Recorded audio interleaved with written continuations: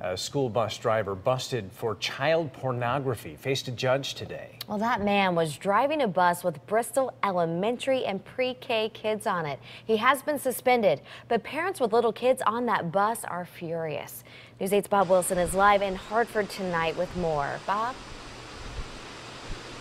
You know, you get up, you get your kids breakfast, you get them off, and you put them on the bus, and you think they're safe.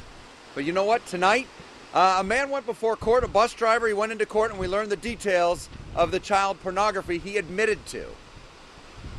29 year old Michael O'Brien appeared in Superior Court today to face child pornography charges. Police say O'Brien confessed to downloading naked pictures of young girls in various sexual acts. O'Brien drove a school bus for First Student in the Bristol School District. That's unbelievable. It's very scary. You really have to look and, and see what's going on in your own town. Police say they were monitoring an internet file sharing site called Peer to Peer when O'Brien's IP address popped up. They got a search warrant for his house in Wolcott. Police say O'Brien had downloaded more than 150 videos to his computer. The girls ranged in ages from 8 to 14 years old. 150 videos. Unbelievable. You just never know who your kids are with. You know, bus drivers or, you know, counselors, anything. Now, the court documents weren't specific as to which students the bus driver drove, as well as which schools he drove for. However, parents say the bottom line is you just have to make sure to talk to your kids about it. The best way to protect them is to educate them.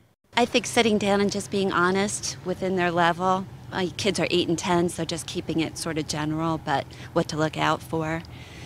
Yeah, I think I'm very, very surprised for Bristol. In a statement to police, O'Brien said he was looking into going to a therapist and told an investigator, quote, I do drive an elementary and middle and high school and pre-K school bus, but I've never hurt, touched any of those kids, and I'm willing to take a polygraph to swear to that.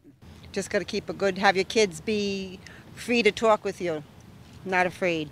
Come to an adult, come to somebody, no matter who it is, talk with somebody, let somebody know something's going on. Now, we did put in a call to First Student, the bus company, and they did not return our phone call. I'm Bob Wilson, reporting live in Hartford, News 8.